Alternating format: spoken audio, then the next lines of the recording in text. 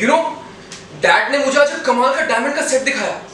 Amazing guys मतलब mall में हर बंदा, सब के सब उसकी तारीफ़ कर रहे थे। But you know what was my first thought Ayesha को जल्द से प्रपोज कर और ऐसा ही डायमंड रिंग बना।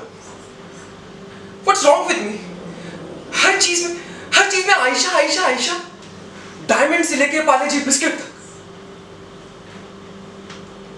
I am in love Ritik, no. Yes, you are. I'm in love.